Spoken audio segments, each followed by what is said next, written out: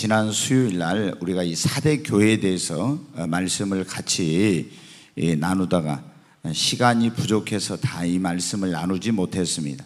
예, 사대 교회라는 그런 교회는 이 사대 지역에 세워진 교회인데 예, 이 사대라는 지역은 굉장히 경제적으로 부유한 그런 도시였다 하는 걸 말씀을 드렸어요. 그래서 에, 교인들도 이 신자들도 경제적으로 굉장히 에, 이렇게 풍요롭고 또 부유한 그런 이제 신자들이 많이 있었습니다. 그래서 교회가 건물도 아주 웅장하고 화려하게 짓고 또 교인 수도 많고 재정도 넉넉한 그런 교회 그리고 많은 그런 교인도 많고 교회도 크고 재정도 넉넉하니까 많은 그런 어떤 교회가 활동을 했어요. 그래서 사람들이 볼 때 어떻게 아, 저 교회는 굉장한 교회구나.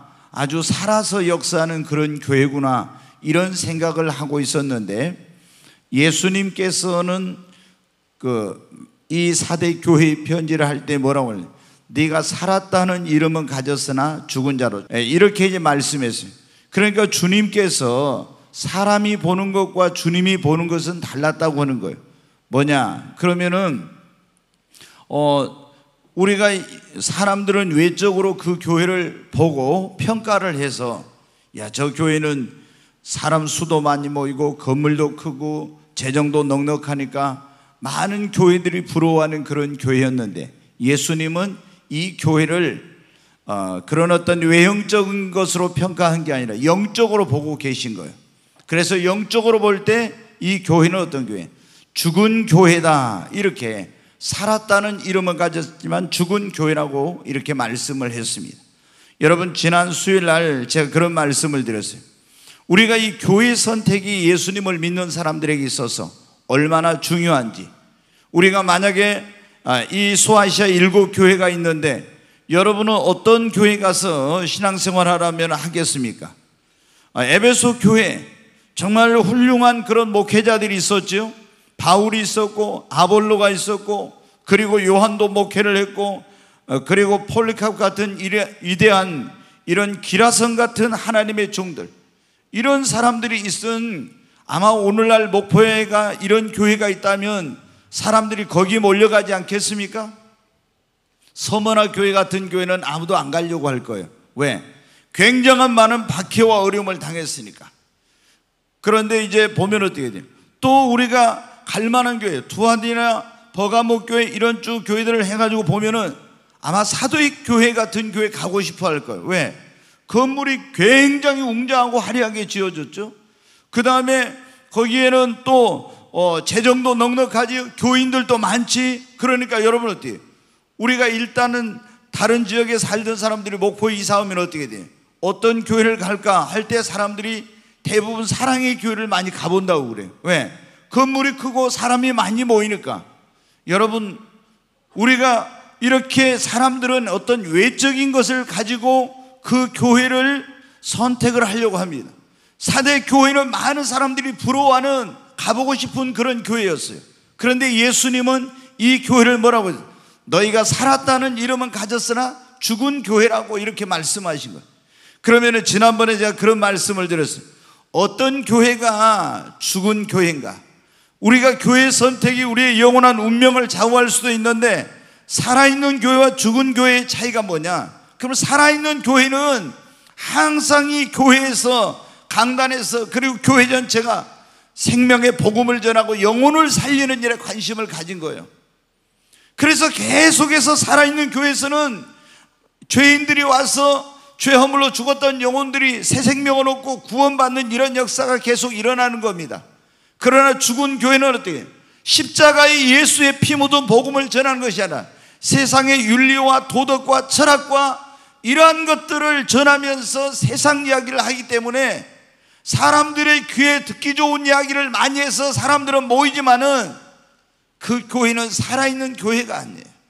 여러분, 교회가 해야 될 가장 중요하고 본질적인 것이 무엇입니까? 주님이 이 땅에 교회를 세우신 가장 중요한 목적은 구원의 방주로서 세상이라는 죄악의 바다에 빠져서 멸망으로 가고 있는 영혼을 구원하기 위해서 이 교회를 세운 거예요. 그래서 교회는 어떻게 돼요? 해야 될 가장 큰 사명도 우리가 교회의 본질적인 가장 중요한 일도 복음을 전해서 영혼을 구원하는 거예요.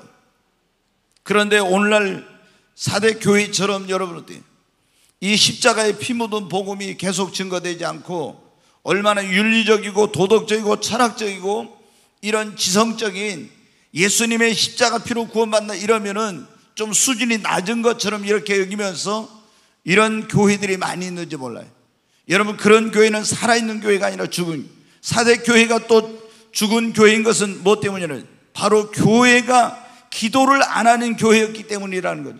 기도는 여러분은 우리 개인에게 있어서는 영혼의 호흡이니까 기도하지 않는 사람은 개인적으로 살았다는 이름은 가졌으나 죽은 자죠. 교회도 마찬가지입니다. 교회는 교회에서의 기도는 뭐냐면 그 교회의 심장과 같은 것입니다. 기도 소리가 멈춘 교회는 이미 영적으로 죽어 있는 교회예요. 아, 그래서 이 사대 교회는 뭐냐? 돈이 많으니까 기도하지 않아도 주님 의지하지 않아도 되는 거예요.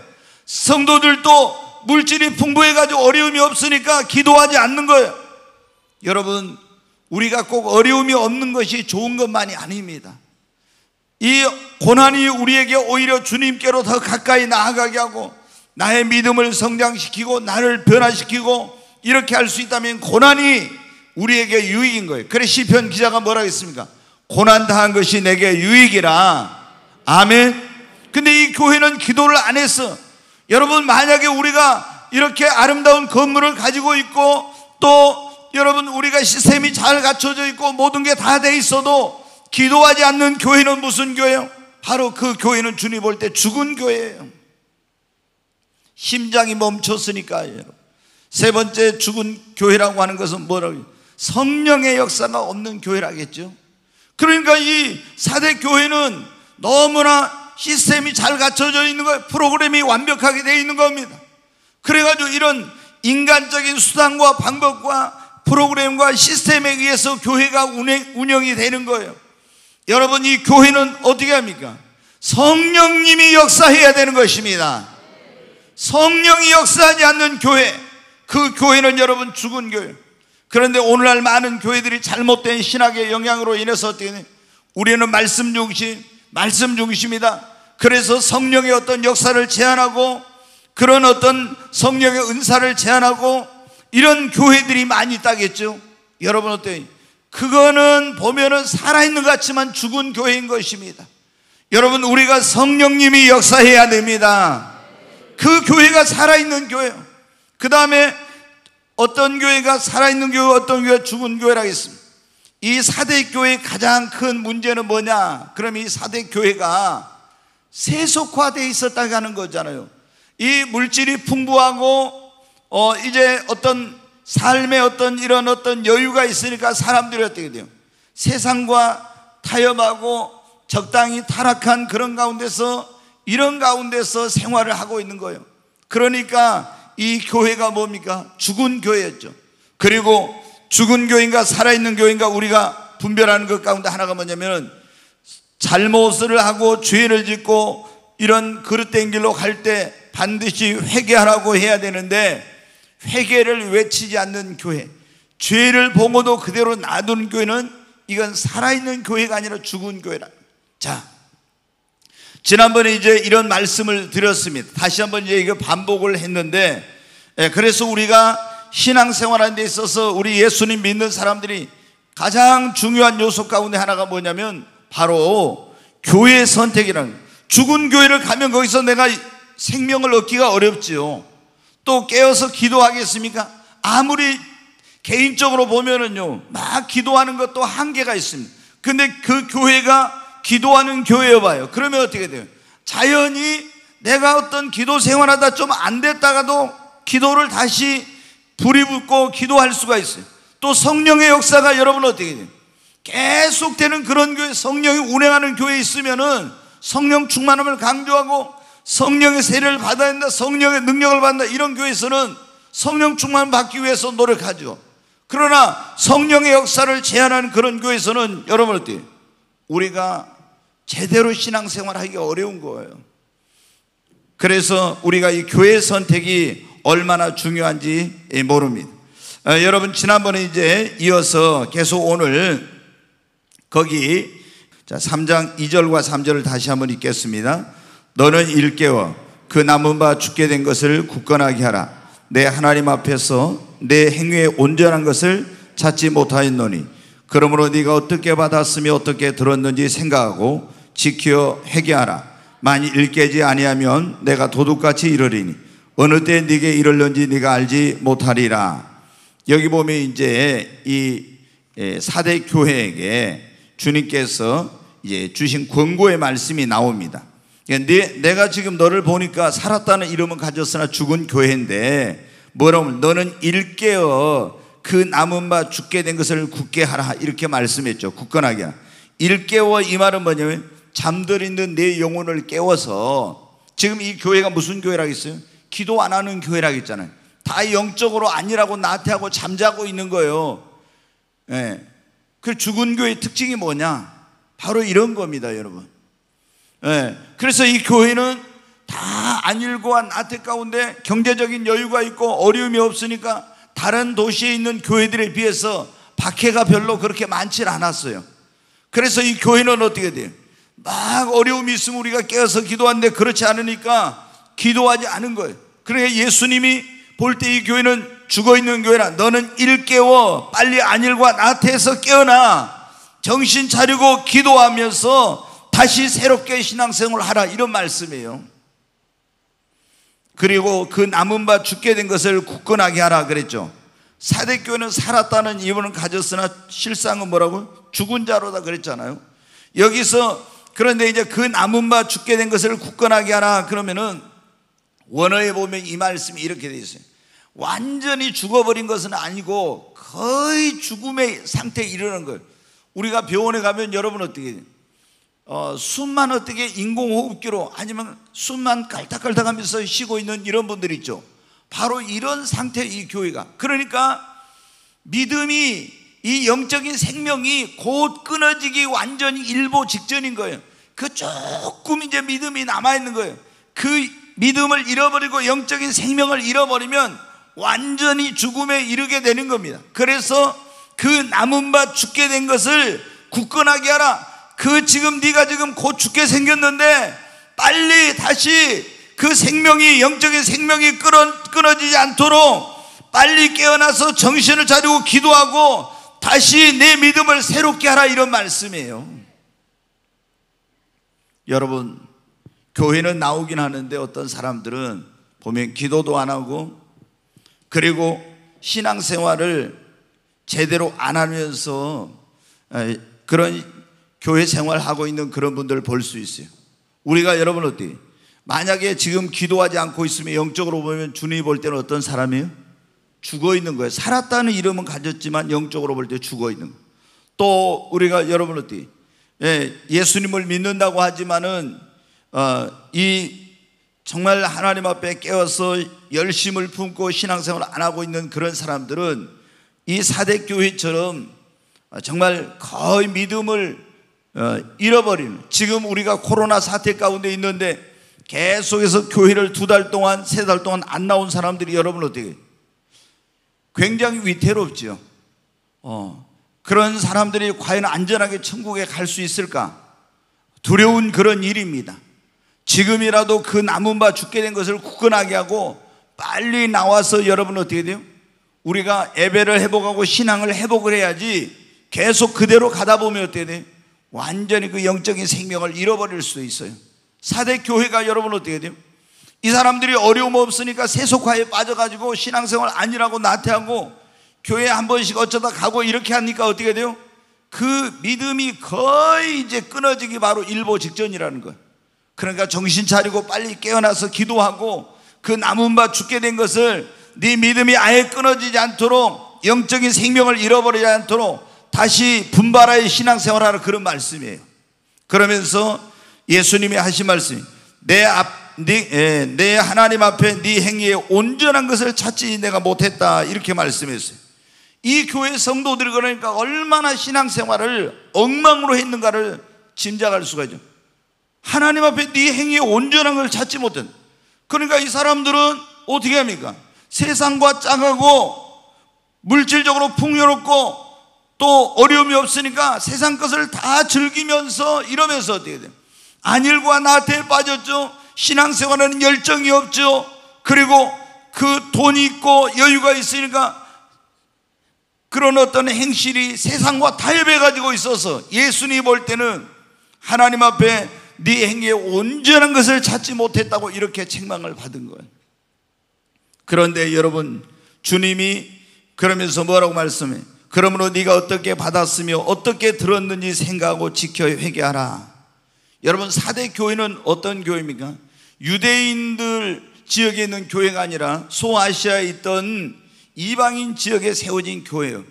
그런데 누군가가 가서 지난번에 제가 말씀드렸죠. 사도 요한이 복음을 전에 세워졌다 이렇게 전해지고 있는데 누군가가 가서 이 예수님의 십자가 복음을 전해 가지고 예수를 믿고 구원받아서 이 교회가 세워지게 된 거예요.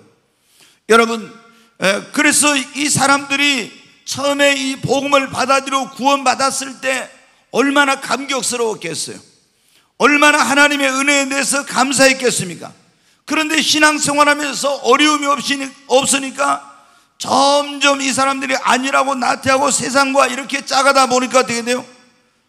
나 같은 죄인을 구원해 주신 하나님의 은혜를 잊어버리고 이제 변질되고 세상과 하나 되고 타락한 이런 생활을 하게 된 거예요.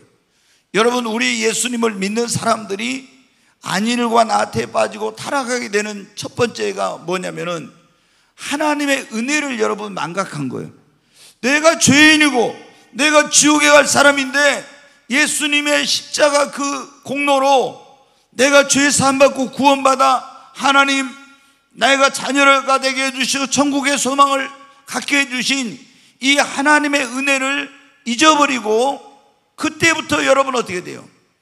그러면 이런 하나님의 은혜를 늘 생각하며 나 같은 죄인을 구원해 주셔 이런 게 생각하고 있으면 여러분 우리가 세상으로 갈 수가 없죠. 근데 이걸 잃어버리니까 어떻게 돼요? 불평이 나오고 원망이 나오고 그리고 신앙생활 열심히 안 하고 세상 것을 어, 추구하게 되고 이런 일이 벌어지는 거예요. 여러분 우리도 한번 생각해 보십시오.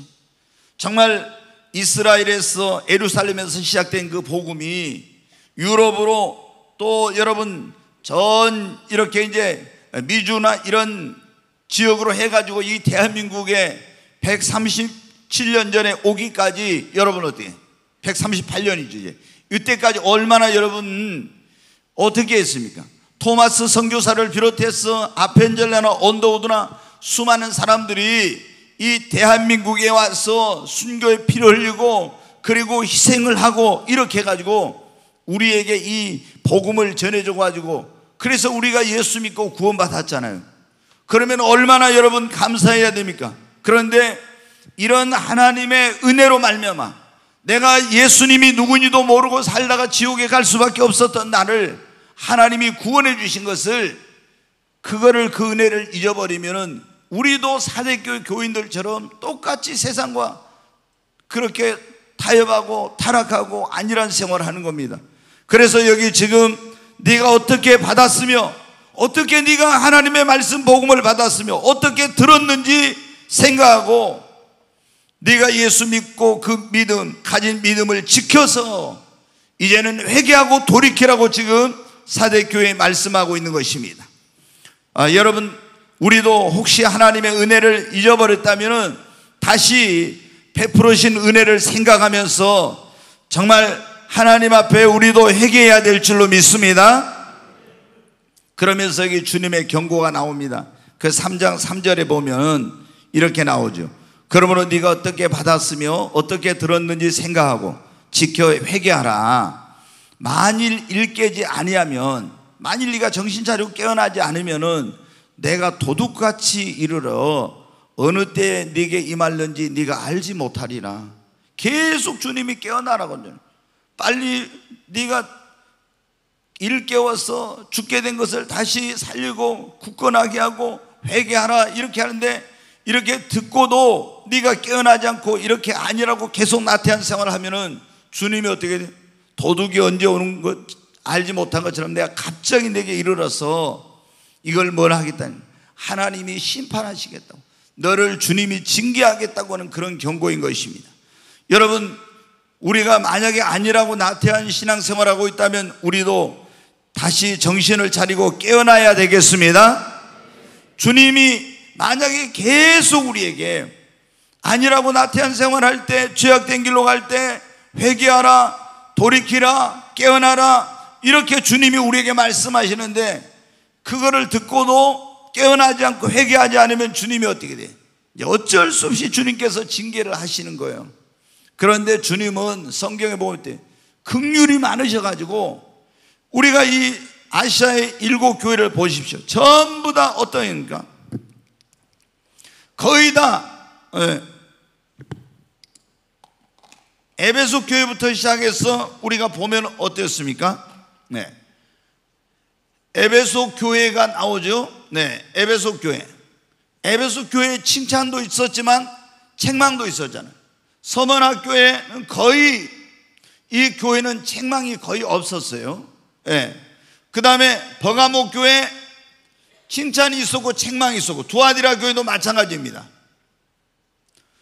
지금 사대 교회에 나오고 있는데 전부 여기 보면은 책망을 하시고도 꼭 주님이 하신 말씀이 뭐라고요?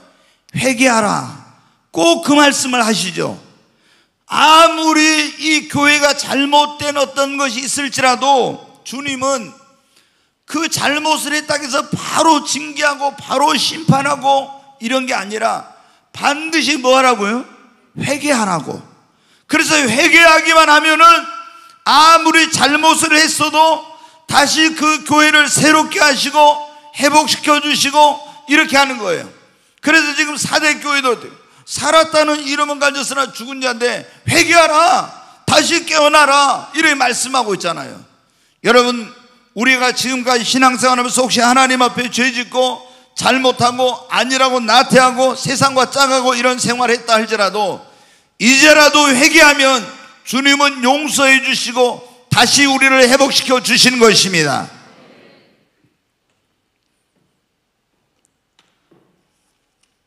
예, 주님이 전혀 뜻밖의 그런데 말씀이 있어요. 이 사대 교회에 뭐가 있냐면 칭찬한 게 한 가지가 있습니다. 그 사대 교회 3장 4절 말씀, 네.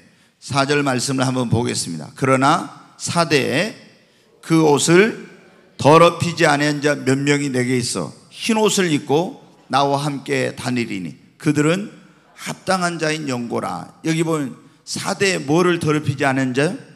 그 옷을 더럽히지 않은 사람이 몇 명 있대요. 근데 이 사람들은 흰 옷을 입고 주님이 나와 함께 다닌다, 동행한다는 거예요. 그들은 합당한 자인 영고나. 네, 여러분 이제 사대가 유명한 게 두 가지가 있었다겠어요. 첫째 뭐냐면 사대는 굉장히 난공불락의 요새같이 450m 높은 그런 해발 450m 높은 산 위에 세워진 도시인데 삼면이 깎아 내린 절벽처럼 돼 있어서 적들이 그 도시를 굉장히 이렇게 뭐 공격하거나 정복하기 어려운 그런 도시. 근데 그 옆으로 뭐가 흐르고 강이 흐르고 있는 그 강에서 사금이 나가지고 이 보석 산업이 굉장히 발달된 그런 도시였다. 그런 말씀. 또 하나는 의류 산업, 염색 산업 이런 산업이 발달돼. 우리나라로 하면 대구와 같이 이런 이런 도시였어요. 그래서 이제 이 사금 보석 산업, 의류 산업이 발달해 가지고 굉장히 그 도시 자체가 부유하고 경제적으로 넉넉한 그런 사람 많은 사람들이 그런 경제 생활이 아주 이제 넉넉한 그런 가운데 있었다 이죠. 근데 여기 보면은 예, 그런데 사대에 다 뭐를 했어요?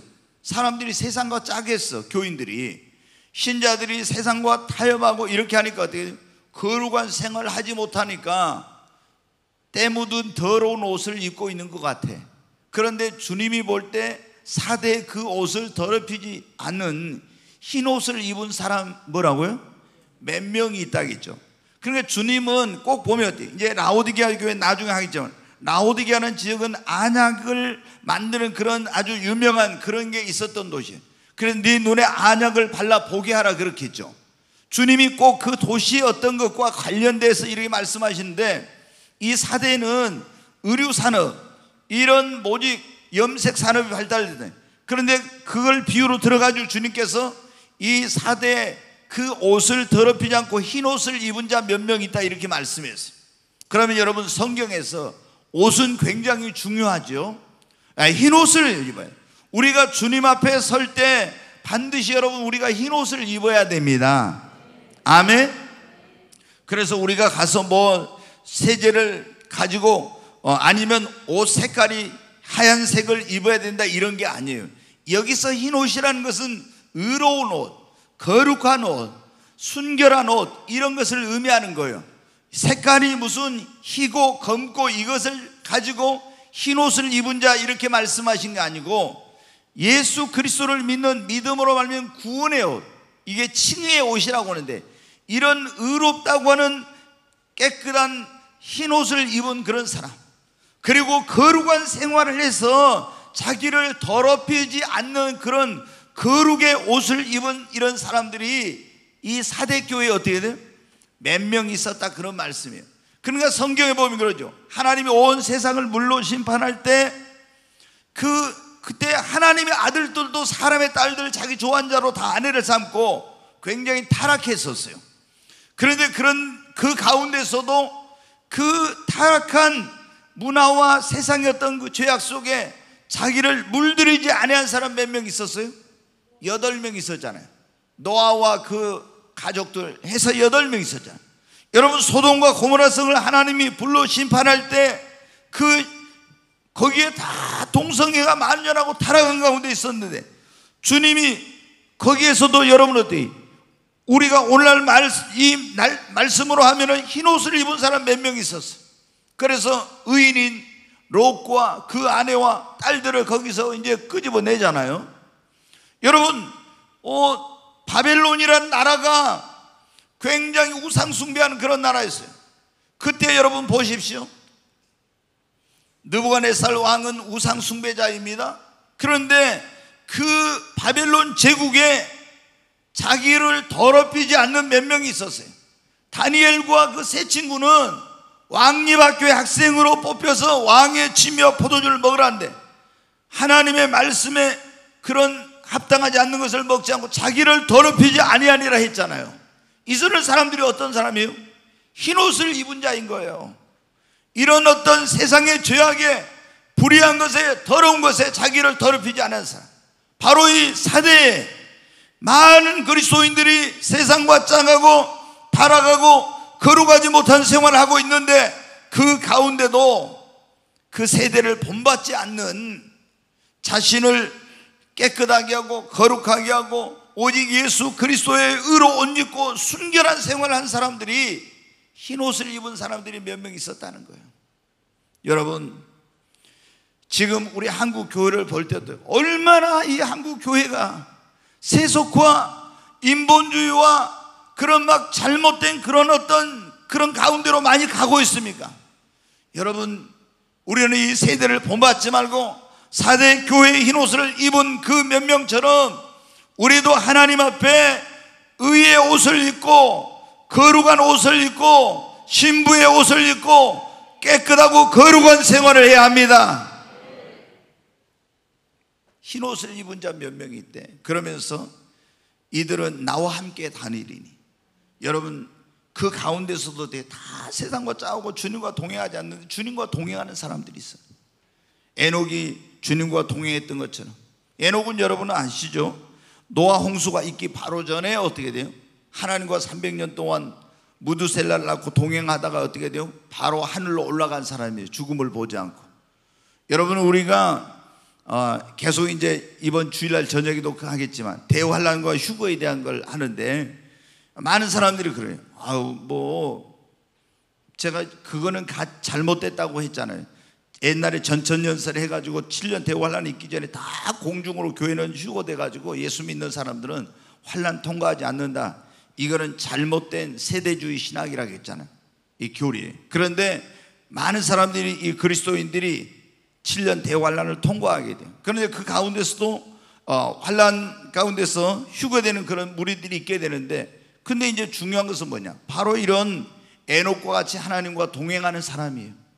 여러분 어떻게 노아 홍수가 바로 있기 전에 에녹은 올라갔어. 그 노아는 어떻게 돼요? 방주를 타고 홍수를 통과해 가지고 구원을 받았어요. 그러니까 앞으로 이것은 대환란의 어떤 그런 애표라고도 할 수 있는데 하나님이 큰 환란으로 그 세상을 믿는 자들의 믿음을 시험할 때 그때 여러분 어때요? 하나님과 동행한 사람, 에녹처럼 동행한 사람은 휴거돼서 먼저 올라갈 수도 있어요. 그러나 어떤 사람들은 노아처럼 이 이제 시험의 과정, 이런 홍수를 통과한 것처럼 큰 환란을 통과해서 구원에 이르는 사람이 있는데 여기 사대에 보니까 어떤 사람이 있었어요? 어, 그 타락한 도시에 많은 사람들이 세상과 짜가고 거룩하지 못한 그런 신앙생활 하는데 그 가운데서도 의로운 거룩한 신앙생활하고 그리고 하나님과 동행하는 주님과 동행하는 그런 사람들이 있어요. 이들은 내게 합당한 자라고 그랬잖아요. 주님이 보실 때 합당한 자. 여러분, 이게 합당한 자라는 게 뭐겠습니까? 주님이 쓰실 만한 그런 사람이라는 거예요. 하나님의 마음에 합한 그런 사람이라는 겁니다. 아멘. 다윗을 보고 하나님께서 그런 말씀을 하셨지 않습니까? 내가 이세 아들 다윗을 보니 내 마음에 합한 자라. 내가 그를 통해서 내 뜻을 다 이루리라. 여러분 하나님은 하나님의 마음에 합한 자를 통해서 합당한 자를 찾아가지고 그를 통해서 하나님의 뜻을 이루십니다. 그 보니까 사대에 너무나 많은 사람들이 다 뭐 세상에 그런 어떤 흐름을 쫓아가지고 거룩하지 못하고 교회를 다녀도 그리고 이 뭡니까? 어 불의한 생활하고 예수님 믿으면서도 적당히 그렇게 한 발은 주님 편에 한 발은 세상에 담그면서 이렇게 타협적인 신앙생활 하는데 이 몇 명의 사람들은 아니야. 우리는 순결한 그리스도의 신부가 돼야 돼.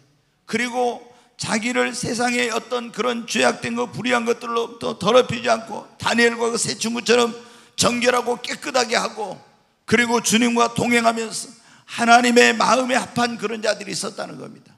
여러분, 저와 여러분이 바로 그런 사람이 돼야 합니다. 아멘. 자, 근데 이제 여기 보면은 항상 어, 주님께서 하시는 말씀 가운데 마지막에는 어떤 약속이 나옵니까? 이기는 자에게 대한 약속이 말씀이 나오죠. 이기는 자. 네, 계시록 3장 5절을 한번 보겠습니다. 이기는 자는 이와 같이 흰 옷을 입을 것이요 내가 그 이름을 생명책에서 결코 지우지 아니하고 그 이름을 내 아버지 앞과 그의 천사들 앞에서 시인하리라. 네, 여기 보면은 이기는 자 꼭 끝에 가서 항상 모든 교회에게 주님께서 하신 말씀이 뭐예요? 이기는 자. 반드시 우리는 신앙에 이기는 자가 돼야 됩니다. 근데 이기는 자에게 약속한 것인데 세 가지가 나와요. 흰 옷을 입을 것이요. 그 다음에 내가 그 이름을 생명책에서 결코 지우지 않고 세 번째 그 이름을 내 아버지 앞과 그 천사들 앞에서 신하리라. 네. 여러분 첫 번째 이기는 자에게 약속이 뭐예요? 이와 같이 뭐를 입어요? 흰 옷을 입어. 자, 우리가 여러분 제가 얼마 전에도 말씀드렸는데 성경에서 보면 옷이 그렇게 중요해요. 우리가 인간이 최초의 아담과 하와가 에덴 동산에 타락했을 때 그 전에는 우리가 죄를 짓기 전에는 어, 옷이라는 게 없어요. 그냥 빛의 옷을 성경에 보면 입고 있어요. 그래서 벌거벗고 있어 부끄러움을 벌었는데 죄를 지으니까 우리를 덮고 있던 그 하나님의 영광의 빛, 빛이 떠나버려요. 그래서 사람들이 이제 부끄러움을 알게 돼요. 그러니까 아담과 하가 뭐로 옷을 만들었어요? 무화과 잎으로 이제 옷을 만들었죠. 근데 이거는 완전한 것이 아니에요. 햇볕이 나면 다 또르르 말라가지고 이건 이제 부끄러움을 가릴 수 없죠. 그래서 주님이 짐승을 잡아가지고 가죽을 벗겨서 그 옷을 만들어줬어요. 예, 여러분 어때요? 우리가 이제 하나님 앞에 예수님 믿는 사람들은 하나님 앞에 서려면 어떻게? 자신의 모든 수치와 부끄러움을 가리우는 그런 옷을 입어야 돼. 그런데 이게 우리가 입어야 될 첫 번째 옷이 뭐 예수 그리스도의 의로 옷을 여러분 입어야 되는 겁니다. 아멘. 예, 예수님의 의로 옷을 입어야 돼. 그리고 지난번에 제가 말씀을 드렸는데 네 가지 옷이 있는데 성경에 중요한 게 우리가 예수로 첫째 옷을 입고 두 번째는 능력의 옷을 입어야 돼요. 성령의 권능으로 옷을 입어야 됩니다. 너희는 이 성을 떠나지 말고 너희는 위로부터 능력으로 입히울 때까지 여기 기다리라 했잖아요. 성령을. 그 다음에 마귀와의 싸움에서 이기려면 뭐를 입어야 한다? 전신갑주를 입어야 돼요. 네. 그 다음에 이제 우리가 어린 양의 신부 예수님의 신부로서 주님 앞에 가려면은 의의 세마포를 입어야 됩니다. 아멘.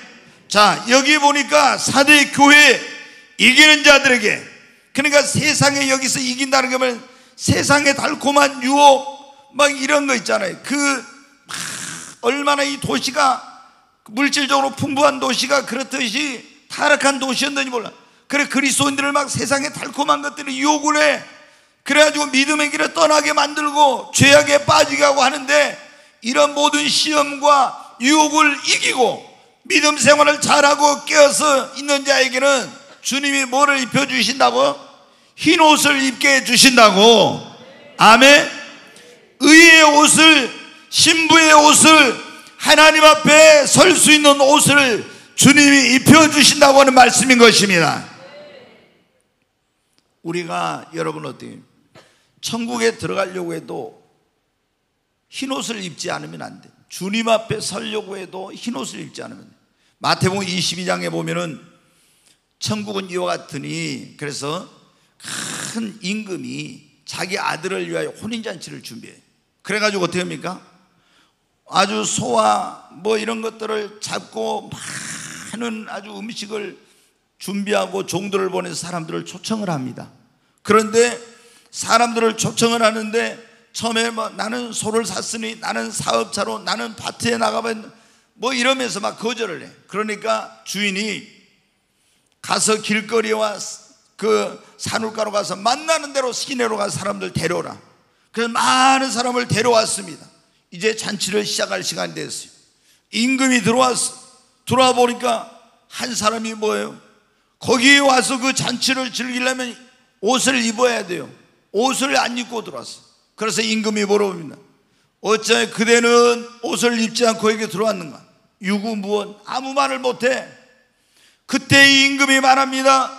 저 옷을 입지 않는 자를 결박하여 바깥 어두운 데로 내어 쫓으라 거기서 이를 갈며 슬픔을 미으리라. 천국은 이와 같으니 그랬잖아요. 우리가 여러분 천국은 혼인잔치와 같다고 예수님 말씀했고 이거는 또 이중적인 의미가 있어요. 바로 천국은 혼인잔치라는 것처럼 즐거울 뿐만 아니라 어린 양의 혼인잔치에 어떤 사람이 하나님의 아들의 혼인잔치에 참석할 수 있는지 옷을 입은 사람 구속받은 그런 하나님의 자녀로서 예수 그리스도의 의로 옷 입고 그리고 의의 세마포를 입은 사람이 이 바로 흰 옷을 입은 자가 천국에 들어갈 수 있고 어린 양의 혼인잔치에 참여할 수 있다는 그러니까 여기 보면 어떻게 돼요? 이와 같이 이기는 자에게는 흰 옷을 입을 것이요. 그런 사람은 뭐예요? 천국에 들어올 것이요. 어린 양의 혼인잔치에 참여할 수 있게 해주신다는 겁니다. 여러분, 반드시 그래서 성경에 보면 우리가 이 옷이 더러워지면 어때? 두루마기를 빠는 자는 복이 있다겠죠. 두루마기. 요즘 젊은 사람들은 잘 모르죠. 옛날에 두루마기 입었잖아요. 우리 어렸을 때 어르신들이. 두루마기를 뭘 예수의 피로 빨아야 돼요. 아멘. 죄악으로 얼룩진 것은 양재물로 뭐 세제 좋은 걸로 해야 안 돼요. 아무리 어떤 죄가 됐든지 아무리 더러워졌어도 회개하면은 예수의 피로 여러분 그 더러워진 것을 깨끗하게 빨아서 눈보다 더 양털보다 더 이게 해주신 것입니다. 우리가 여러분 흰 옷을 입어야 됩니다. 철저히 회개하고 그래서 여기 이기는 자는 이와 같이 근데 못 이기고 세상이 유혹이 올 때, 시험이 올 때 그런 것들에 빠져가지고 오면 돼요. 우리의 옷이 더러워져 가지고 그런 모습으로는 하나님 앞에 설 수 없는 거예요, 여러분. 이기는 자가 여러분 돼야 됩니다.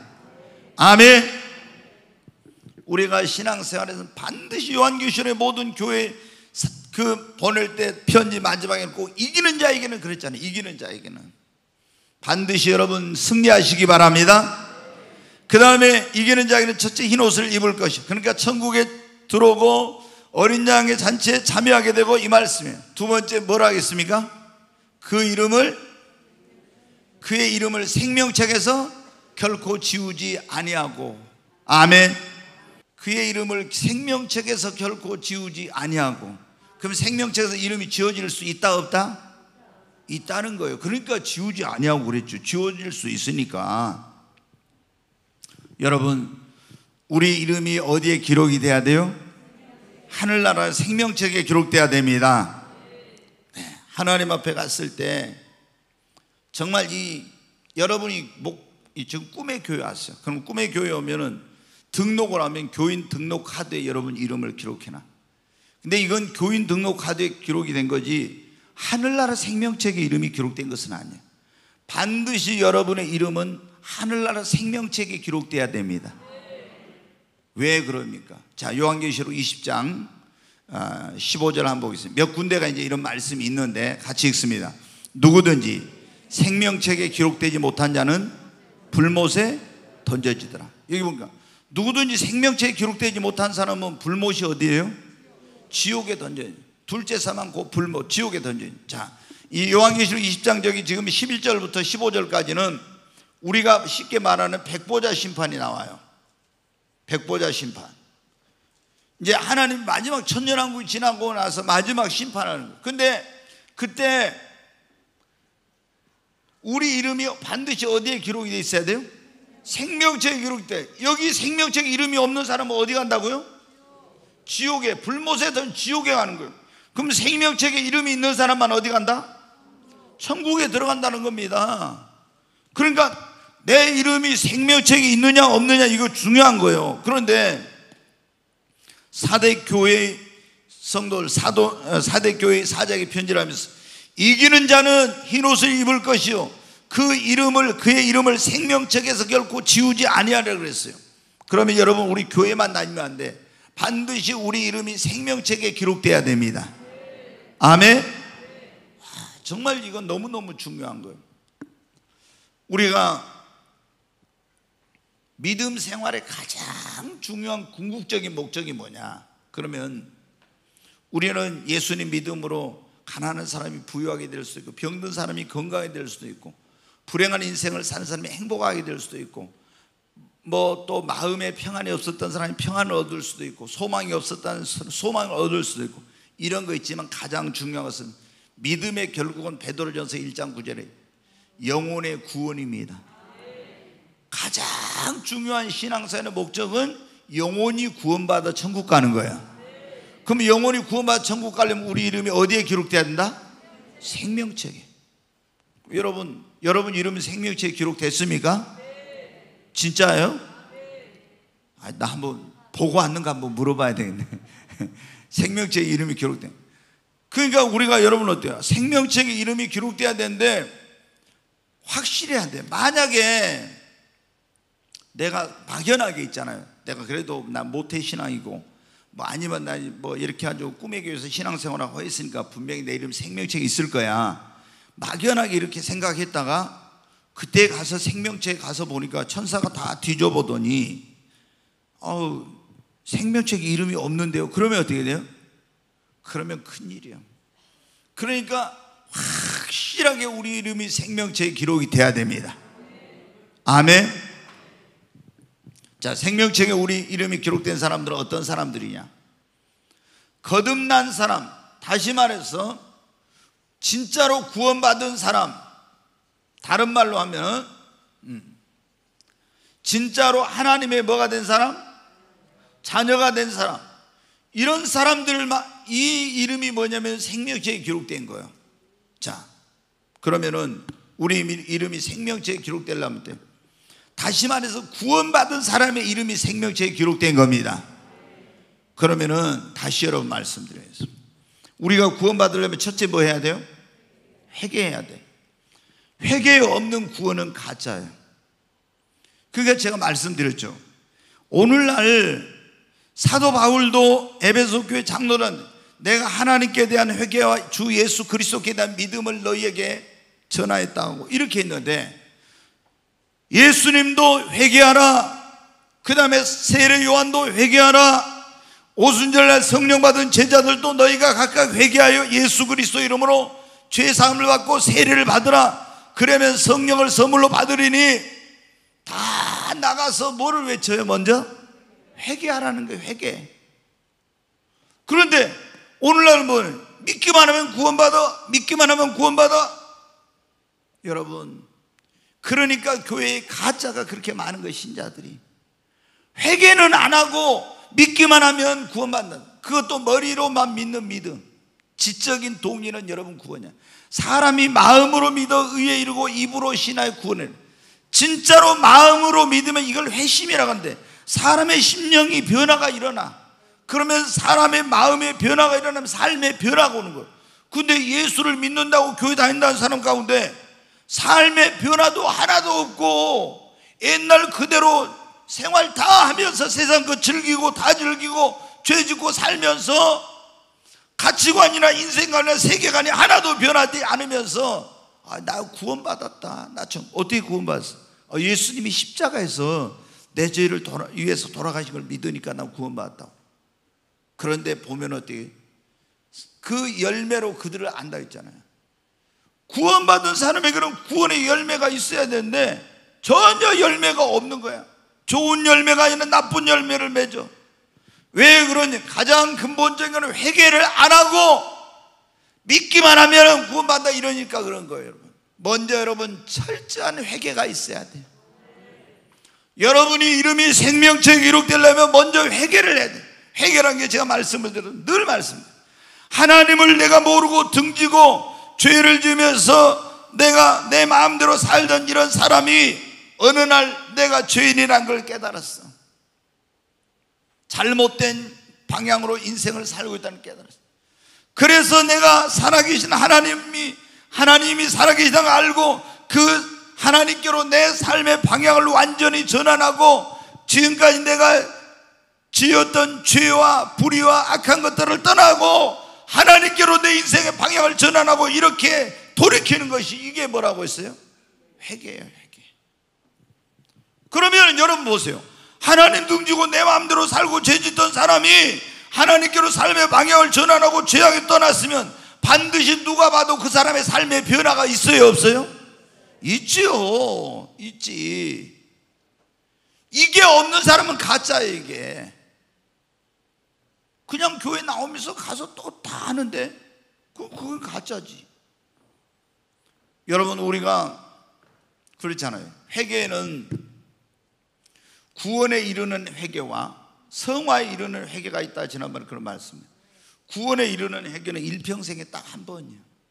그러니까 내가 하나님을 등지고 내 마음대로 죄짓고 살고 가다가 아우 내가 죄인이라는 걸 잘못되어 알고 완전히 하나님께로 내 삶의 방향을 180도 전환하고 죄를 떠나서 하나님께 돌아오 이게 뭐냐면 구원에 이르는 해결. 근데 우리가 예수 믿고 구원 받아도 살아가면서 또 죄 지어요? 안 지어요? 지어. 그러면 또 뭐 해야 돼요? 회개해야 돼. 그거는 성화를 위한 해결하겠죠. 근데 구원파는 이걸 모르니까 한 번 예수 믿고 구원 받으면은 어떻게 한다고? 회개할 필요 없다. 회개하면은 구원 못 받았다 한다고. 이 사람들은 다 성경 지식이 짧아가지고 성경을 제대로 모르는 거예요. 그래서 당신 죄 있어 없어? 죄 구원 못 받아요. 여러분, 우리가 죄 없다고 하면 스스로 속이고 거짓말한 거라 했죠. 여러분, 예수 믿고 구원받아도 죄 지어요? 안 지어요? 지어. 꼭 가서 살인하고 도둑질하고 간음하고 이것만 죄가 아니야. 주님이 사무엘은 뭐라 내가 너희를 위해 기도하기를 쉬는 죄를 범하지 않겠다 했죠. 성령 임하면요. 내가 누구를 사랑하지 못한 것도 죄구나. 전도하지 못한 것 죄구나.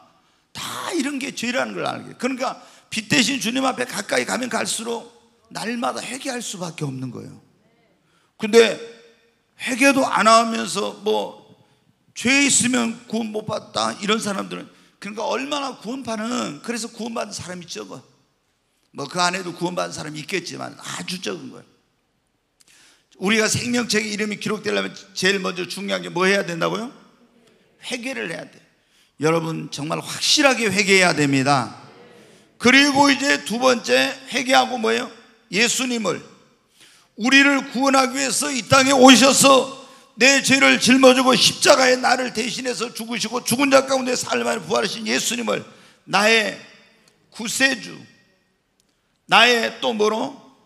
주님으로 나의 구세주로만이 아니라 이 예수님을 나의 주인으로 여러분 영접해야 됩니다.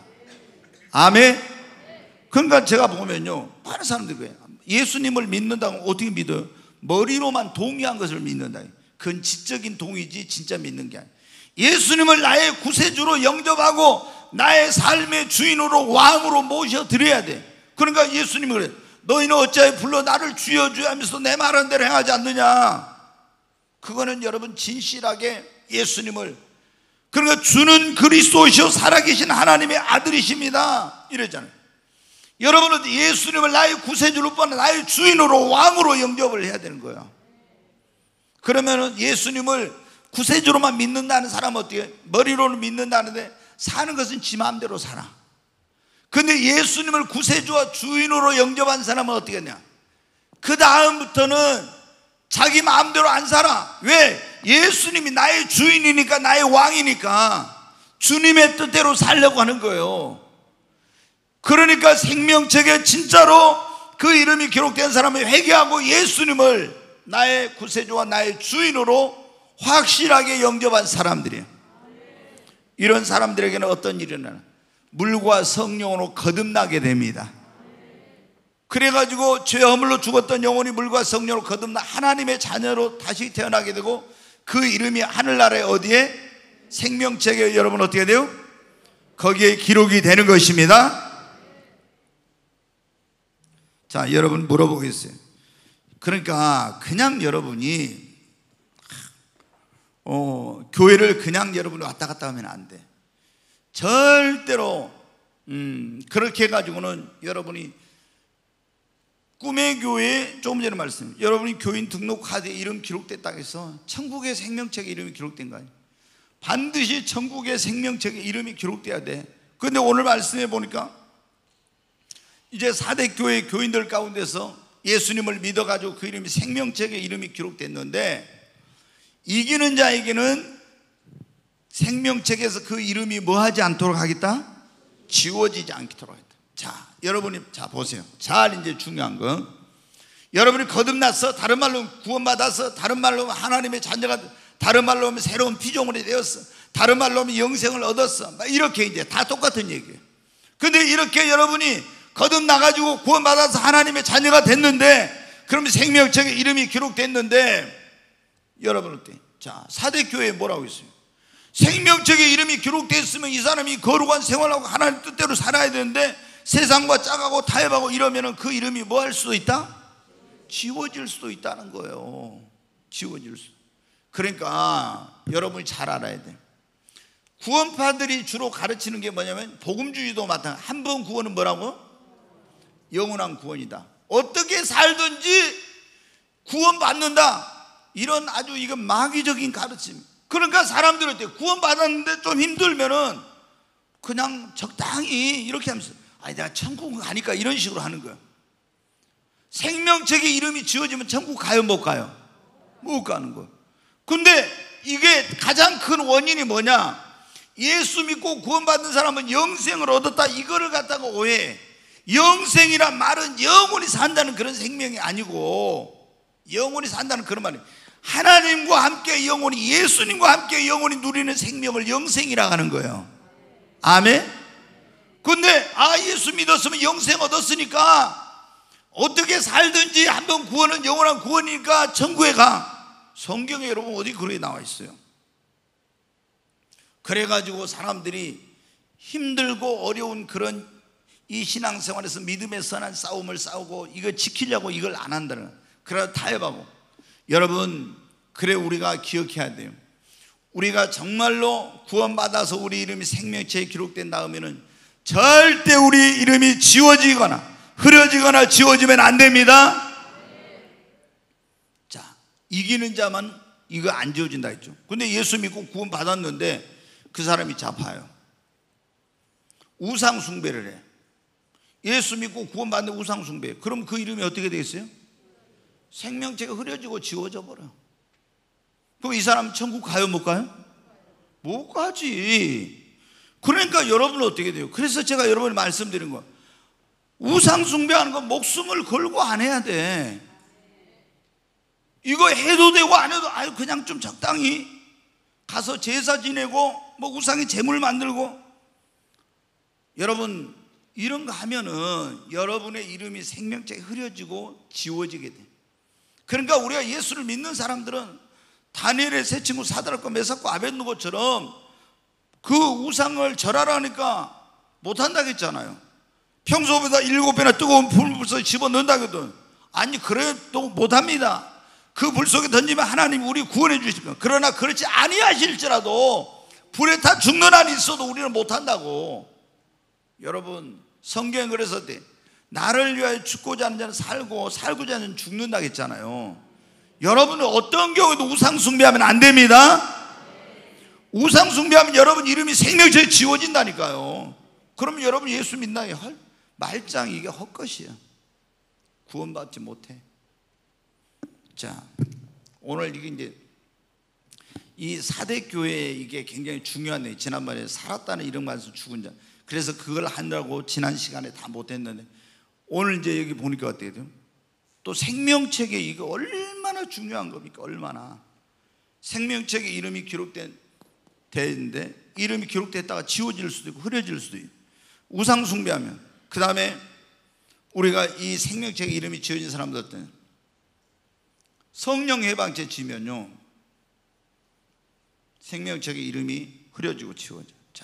자, 성령 해방제가 뭐냐? 성경에 보면 예수님께서 하나님의 성령의 능력으로 귀신을 쫓아냈어. 그런데 사람들이 와서 뭐라니? 이게 분명히 예수님이 하나님의 권능과 능력으로 귀신 쫓아낸 거 알고도 뭐라고 해요? 저가 귀신의 왕 바알세부를 힘입어서 귀신을 쫓아낸다. 이렇게 하면서 예수님이 행하신 일을 저걸 뭐라고 했어요?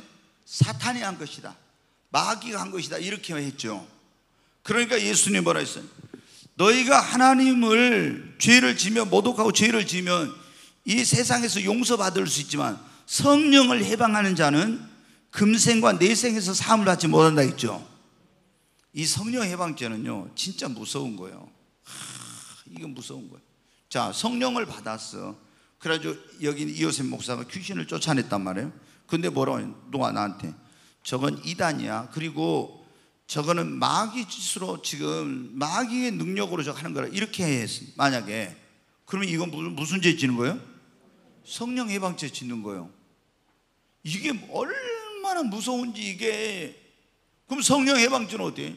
금생과 내생에 사함이 없는 어 이게 무서운 겁니다. 근데 이제 이게 성령 해방죄를 짓는 사람들이 가장 많은 이유가 뭐냐면 목회자들이 자신의 그런 성경을 있는 대로 보지 않고 잘못된 그런 신학과 교리의 영향을 받아가지고 성도들을 그렇게 가르쳐.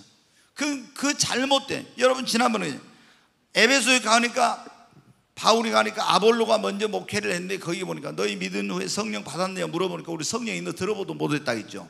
왜? 이 사람은 성령에 대해서는 성령세를 모르니까 그 오늘날 이런 목사님들이 많대 말씀에 대해서 아는데 성령에 대해서 그 바울이 성령 세례에 대해 설명하고 이제 나중에 기도하고 안수하니까 성령을 받았죠. 그러니까 방언도 하고 예언도 했어. 근데 오늘날 이 성령에 대해 잘 모르는 사람들이 막 함부로 예언한 것들은 막 무슨 직통계시 뭐 지가 어쩌고 저쩌고 성경이 완성됐는데 뭐 이러면서 있잖아요. 막 이렇게 하면서 공격을 해.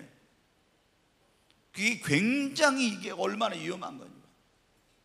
여러분 어때? 고린도전서 13장에 보면 그렇거든. 온전한 것이 올 때는 애언도 피하고 방언도 피하고 이런 것들이 다 끝난다고. 온전한 것이 올 때. 그럼 저도 옛날에 그 가르침 받을 때 어때요? 온전한 것은 성경의 완성이다. 정경의 완성. 성경이 완성됐기 때문에 이제는 애언이나 방언이나 이런 거 다 은사 같은 끝났고 은사 종식, 종지, 중지론, 기적 종식론이라는 이런 걸 배워가지고 저도 그런 줄 알았어요. 근데 내가 성경을 딱 보니까 온전한 것은 예수님인데 예수님이 오면 그때 그런 거 필요 없지. 근데 성경의 완성이라니 이거는 뭔가 아니다. 근데 이제 제가 신학적인 쭉 그걸 해서 보니까 비비 위필드라고는 그런 신학자가 이제 기적 종신 은사 중지론을 가르쳐 가지고 그 성경에 이것은 완성이다 해 가지고 그 영향을 받은 사람들이 다 그렇게 된 거예요. 근데 여러분 지금도 치유의 역사 일어납니까 안 일어납니까? 일어나죠. 지금 또 방언해요, 안 해요? 애언도 합니까, 안 합니까? 하죠. 그러면 이건 뭐예요, 이거? 이건 다 마귀가 하는 겁니까? 그 사람들이 볼 땐 이건 다 마귀가 주는 귀신 방언하고 있는 거예요. 이거는 여러분 굉장히 위험한 거예요. 근데 이거를 전부 성령이 역사하고 있는 걸 갖다 물론 사탄이 그 거짓 기사 표적으로 하는 것도 있죠. 그렇지만 이걸 성령이 하는 것을 마귀가 했다고 귀신했다 이렇게 하죠. 막 2단 3단하고 이렇게 이건 성령 해방죄를 지는 거. 이런 죄를 지면 어떻게 한다고? 생명책 이름이 흐려지고 지워져.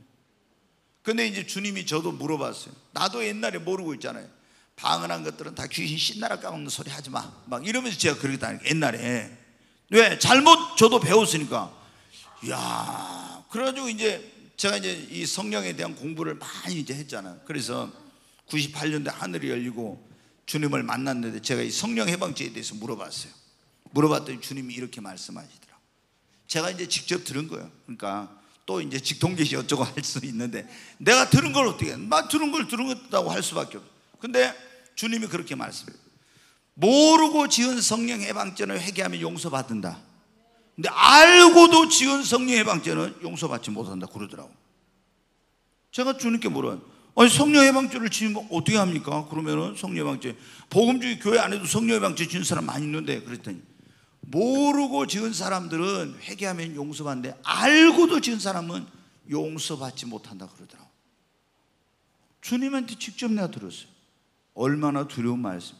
근데 여러분 어때요? 막 성령 해방죄를 지어 막 사람들이 그러면은 생명책에 이름 기록된 이름이 어떻게 돼요? 흐려지고 지워질 수 있어요. 오늘 이거 끝내야 되니까 할 수 없이 조금 더 해요. 우리가 원래 그러잖아요. 그 인본주의적인 교회는 어때? 인간이 주인이 된 교회는 딱 몇 시 되면 딱딱 끝나야 돼. 근데 성령이 하는 교회는 시작하는 시간이 있지만 어때요? 끝나는 시간이 원래 없는 거잖아요. 아멘? 아, 목사님들도 어떻게 돼요? 성령님의 눈치를 봤는데 장로님들 눈치, 권사님들 눈치 보느라고 설교를 제대로 못해. 예. 근데 오늘 우리는 성령의 눈치만 보십시다. 이거 끝내야지 또 다음 주에 가서 또 사대교회 한다고 있으면 재미없으니까 저도 다음 주에는 빌라델비아 교회를 해야죠. 예, 그래야 되니까 오늘 끝내요. 아멘. 네, 그러면은 언제 이제 이게 어, 이, 이 생명책의 이름이 지워지냐? 그러면은 여러분 이제 자 보세요. 주님을 갖다가 뭐예요? 부인해. 아니면 또 배교해, 배교. 자, 예수 믿고 구원받았던 사람이 여러분 보세요. 아니, 교회 다니는 사람, 제가 얼마 전에 그런 얘기 들었거든요. 교회 다니면서 뭐 시험 들하고 속상했는데 어디로 가버렸어요? 불교로 가버렸대. 그 사람 구원 받겠어요? 못 받겠어요? 진짜 여러분 이게 뭐예요? 배교한 거 다른 종교로 가버렸 아니 천주교로 가서 거기서 구원 받겠어요? 교황이 무하고 마리아를 통해서 구원받는다 하고 이렇게 하니 거기 가서 선한 거기서 착한 행실을 살아야 구원받는 이게 우리의 선한 행실로 구원받아요? 못 받아요? 오직 무엇으로? 예수 십자가 피공로로만 구원받습니다. 근데 여러분 어때요? 자 이렇게 막 배교를 해. 그 마지막 때는 성경에 보면 배교하는 역사가 있다 했죠. 예수님 재림하기 전에. 굉장한 역사가 일어나 이게 근데 이 배교 그 다음에 여러분 뭐예요? 주를 부인해 보라. 예전에 여러분 6.25 때 그런 일이 있었는데 총 가지고 야 예수 믿을 거야 안 믿을 거야? 초대교회 그랬잖아요. 로마의 그 원형 경제에 데리고와서 너 여기서 예수 부인하면 살려준다 부인하지 않으면 사자의 밥이 되거나 불로 태워 죽이거나 찢어 죽이거나 막 이래 죽인다 그 그럼 거기서 어떻게 벌벌벌 떨어가요 어떤 사람 아 나는 나는 예수님 안 믿겠어 이랬어 그럼 그 사람 여러분 어떻게 된 거예요? 생명책 이름이 지워지죠. 그런데 폴리캅처럼 주님이 나를 86년 동안 한 번도 모른다고 한 적이 없는데 내가 어떻게 예수를 부인하냐고. 그러면서 죽어도 예수를 부인 안 해야 생명책 이름이 지워지지 않지. 잠깐 뭐 하려고 예수 부인하고 이러면 여러분 어떻게 돼요? 다 생명책 이름이 지워져. 여러분 봐요. 성경 요한계시록 지금 이제 계속 하고 있으니까 나온데 적그리스도가 나오잖아요. 짐승이라고 나와가지고. 그래가지고 적그리스도가 어떻게 돼? 에루살렘 하나님의 성전에다 우상을 세워놓고 말하게 하고 자기 우상에게 절하게 하고 한다 했죠. 또 666표 안 받으면 이게 물건 사고 팔는 거든. 근데 거기 보면 우상 숭배하면은 안 하면은 그래 막 죽인다고 하면 우상 숭배해. 거기 가서 적그리스도의 우상에게 또 666표를 받아. 그럼 요한계시록 14장 봐보세요. 지옥에 가서 그 사람들은 세세토록 시험을 얻지 못한다고 다 나오냐. 그럼 뭐예요? 예수 믿었던 사람들이 생명책 이름이 지워진 거예요.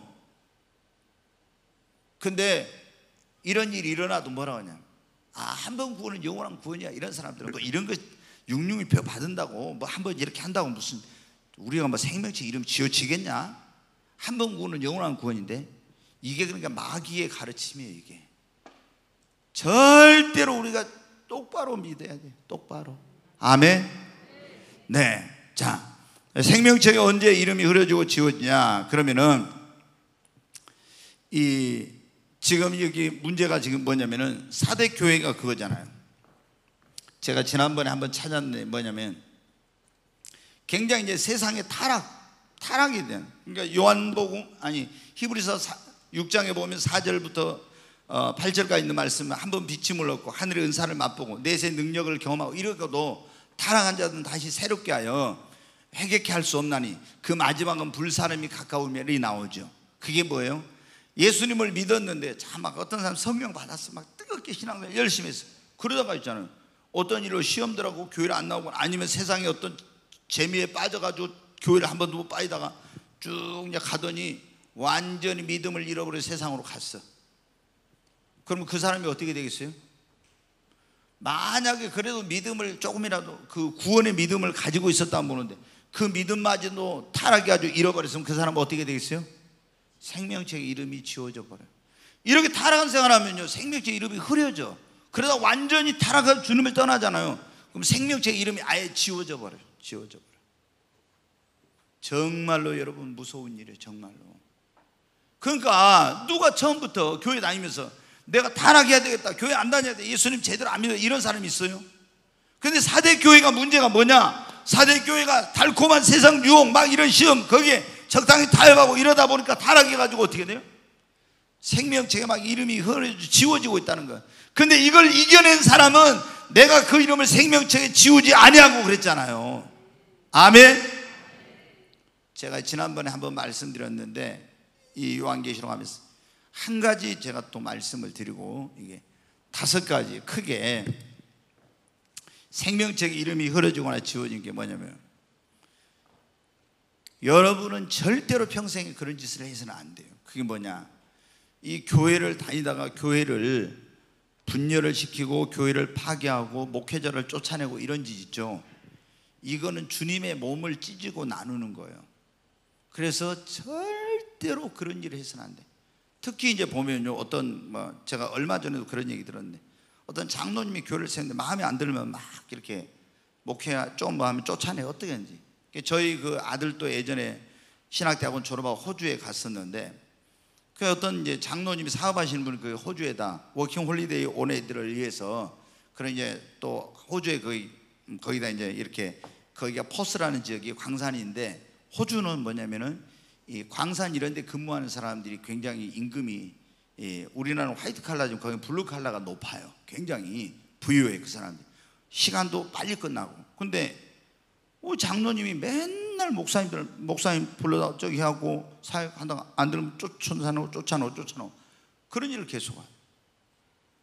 여러분 주님의 몸 된 교회를 찍고 목회자를 쫓아내는 그거는요 하나님 앞에 정말 지옥 갈 지옥. 제가 그때 98년도에 하늘이 열리고 왜 제가 이걸 알게 된 제가 충격을 받았어요. 요한 1세에 보면 이런 말씀입니다.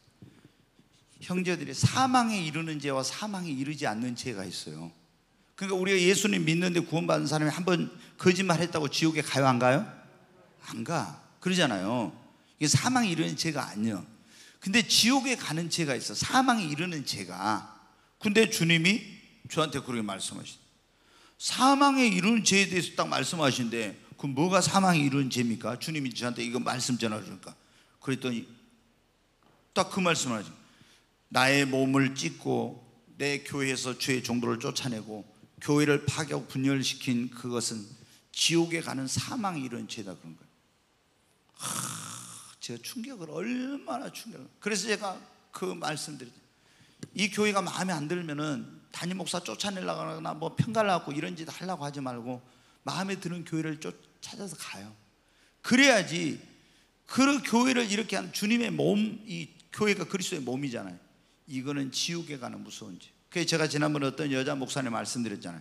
저기 어디 그 솔로몬 군도입니까? 어디 거기 가서 집회를 갔는데 거기 딱 강단에 앉아서 주님 기도하고 있는데 갑자기 환상이 딱 보이더라고. 큰 나무가 있는데 거기 보니까 어떤 어떤 사람들이 도끼 갖고 막 나무를 막 찍으니까 그 나무에서 막 피가 제가 그 목사님 절, 직접 들었어요. 철철철 막 흐르는 거예요. 그래서 이 목사님이 주님 도대체 이게 무슨 뜻입니까 했더니 딱 주님이 그랬더니 이 큰 나무는 이 교회 담임 목사인데 이 교회 장로들이 담임 목사를 쫓아내려고 그런 짓을 하고 있다. 회개 안 하게라. 그렇지 않으면 다 지옥 간다고 그는 거예요. 그래서 딱 목사님이 자리에서 나와서 강대에서 딱 본대로 말했어요. 내가 지금 여기 앉아가지고 기도하는데 하나님 환상을 보여서 큰 나무를 보여주셨는데 그 나무를 사람들이 막 몇 명이 나와서 도끼로 찍은데 피가 철철 나서 내가 물어봤더니 이 나무는 이 교회 담임 목사인데 지금 장로들이 담임 목사를 쫓아내려고 자, 지금 담임 목사를 죽이려고 이렇게 하고 있다 했더니 장로들이 어때? 그 자리에서 다 뒤집어져 가지고 막 의자 밑으로 들어가서 회개하면서 가슴을 치고 난리가 나거든 난리. 그러니까 이제 딱 집회 끝나고 나니까 목사님 그러죠. 이 목사님이 목회를 잘했고 교회가 엄청나게 부흥을 시켰는데 성장을 했는데 담임 목사를 이제 어떻게 장로들이 쫓아내려는 거예요. 그런데 목사님이 이제 괴로운 거예요. 내가 계속 있어야 될 말이에요. 그래서 이번에 부흥사 강사님 오셔서 주님이 말씀하신 대로 나는 그것이 주님의 음성으로 알고 하겠습니다. 그러고 딱 기도를 했대. 그런데 오자마자 어때? 첫 시간에 주님이 딱 그렇게 응답을 한 거예요. 40일 작전 기도인가 했대요. 이 목사님이. 그래가지고 그 교회가 뒤집어졌어요. 그러니까 여러분 어떻게 돼요? 내가 보면은 이 교회 다니는 사람들 가운데 있잖아요. 너무 하나님 무서운 줄을 모르는 사람들이 많아. 너무. 그, 그래가지고 어떻게 돼요? 교회를 막 마음에 안 들면은 장로파, 무슨 파 막, 막 갈라지죠. 교육관에서 예배 드리고 본당에 드리고 어디 식당에 드리고 막 운동장에 드리고 이러면서 막 지금 한국 교회 이런 데 얼마나 많아. 다 여러분 어때요? 지옥에 갈 죄를, 무서운 죄를 짓고 있는 거예요. 이런 짓 하면은요, 생명책 이름이 싹 지워져. 그러니까 정말로 이건 그러니까 마음에 안 들고 도저히 여기서 저 목사님을 위해서 내가 기도해야 되겠는데 정말 기도해도 안 되겠구나. 내가 이 목사 이 교회에서 내가 하나님 일해야 될안 되겠다 그러면 내 영혼이 도저히 여기서 살 수가 없다 그러면 교회를 떠나야 되겠죠. 거기서 또 쫓아내가지고 내가 개척 멤버인데 내가 건축할 때 헌금 얼마 있는데 이러면서 그러면 죽을 짓만 하고 있는 거예요. 절대 그런 짓 합니다. 이기는 자에게 마지막에 뭐를 주신다겠어요? 내 아버지 앞과 천사들 앞에서 그의 이름을 시인한다겠죠. 그 이름을 내 아버지 앞과 천사들 앞에서 시인하는. 이게 굉장히 중요해요. 자, 우리가 하나님 앞에 갔어요. 그럼 천사들이 다 시립하고 있죠. 그 앞에가. 근데 딱 제가 갔는데 이 요셉이 갔는데 주님이 뭐라고 아니 주님이 그랬죠. 천 아버지와 천사들 앞에서 이 요셉을 내가 안다고 저 꿈의 교회 담임 목사였다고 내가 사랑하는 종이었다고 이러면 좋은데 나는 너를 모른다. 그래 보면 어떻게 돼요? 이거 심각한 거예요. 그렇죠? 그러잖아요. 여러분이 지금 주님 앞에 하나님의 보좌 앞에 가면 주님이 여러분 다 아신다 할까요? 왜 대답 안 해요? 아니 주님 앞에 갔을 때 내가 너를 모른다 이러면 큰일이잖아요. 주님이 나를 아신다고 해야 됩니다. 아멘. 근데 이기는 자에게는 뭐라고 했어요? 그의 이름을 내가 아버지 앞과 천사들 앞에서 시인하리라. 근데 여러분 성경에 보면 우리 주님이 그런 말씀. 너희가 사람 앞에서 나를 시인하면 나도 내 아버지 앞에 너희를 시인할 것이요.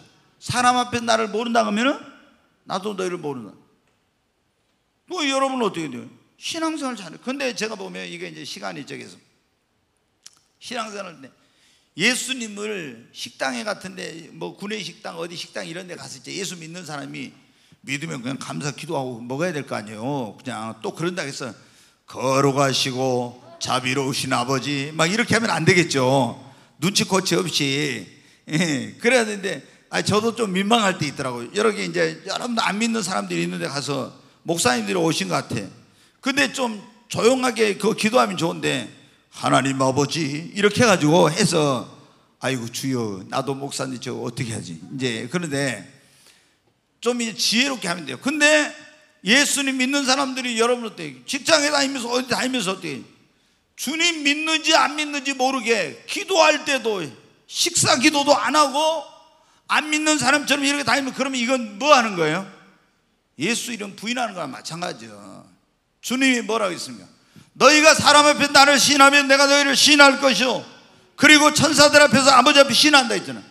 부인하면 여러분 나도 너희를 부인한다 했잖아요. 근데 여기 뭐라 했어? 이기는 자들 이건 뭐예요?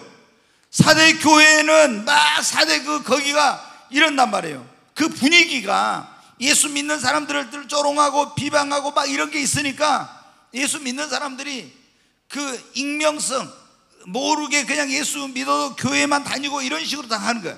그러니까 주님이 어때? 이렇게 떳떳하지 못하게 자신감 없이 예수 믿는 걸 부끄러워하고 이렇게 하는 사람은 내가 너희를 모른다 한다. 그런데 이기는 자, 이런 어떤 분위기, 정서 이런 걸 다 이기고 나는 그리스도입니다. 나는 예수 믿는 사람입니다.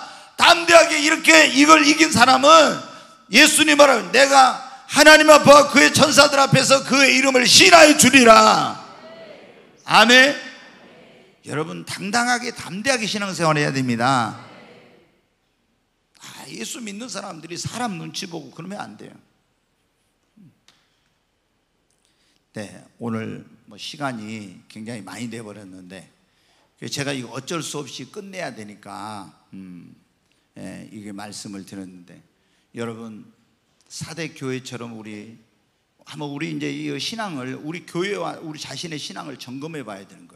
그래서 어, 정말 이 에베소 교회는 막 내가 네 행위를 안 오니 막 굉장히 막 주님을 위해 많이 했어. 그런데 뭘 잃어버렸어요?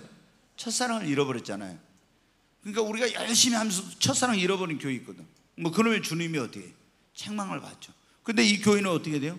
아 세상적으로 볼 때 이 사대 교회는 막 건물도 웅장하고 막 화려하고 교인도 많고 재정도 엄청나게 넘쳐나고 이런데 어떻게 돼요? 살았다는 이름 가서 죽은 교회. 왜? 어, 복음이 생명력인데 복음이 증거되면 기도와도 안 하고 성령 의사도 없고 세상과 타협하고 회개하고 이런 것도 안 해주고 그러니까 여러분 정말 우리가 예수님을 믿는 가장 중요한 목적 가운데는 영혼 구원인데 여러분의 이름이 생명책에 기록이 돼야 됩니다. 아멘. 철저한 회개. 우리 이름이 생명책에 기록되려면 확실하게 회개하고 예수 그리스도를 나의 구원자와 주님으로 확실하게 믿어야 돼. 그래야 사람이 변화가 인생관이 가치관이 세계관이 다 바뀌고 새로운 피조물로 새로운 삶을 사는 거예요. 그렇지 않으면 교회 다니 그냥 종교인이에요, 종교인. 그 구원받은 게 아니에요, 종교인. 그런 사람은 꿈의 교회 교인 등록부에 이름은 있어도 생명책에는 이름이 없어요, 여러분. 그러면 안 돼. 확실하게 회개하고 확실하게 예수를 믿어야 돼요. 아멘. 그리고 기록된 생명책에 내 이름이 절대로 지워져서는 안 됩니다. 흐려져 지어지면 우상숭배하고 성령의 방주, 주를 부인하고 배교원 타락하고 그리고 예? 이렇게 뭡니까 교회를 파괴하고 분열시키고 이런 짓 하면은 생명체 이름이 지워지는 거예요. 우리 정말 신앙생활 바르게 하십시다. 무엇보다도 하나님 앞에 우리 성령이 교회들 하시는 말씀을 들을지다 이기는 자가 되어야 되겠습니다. 네.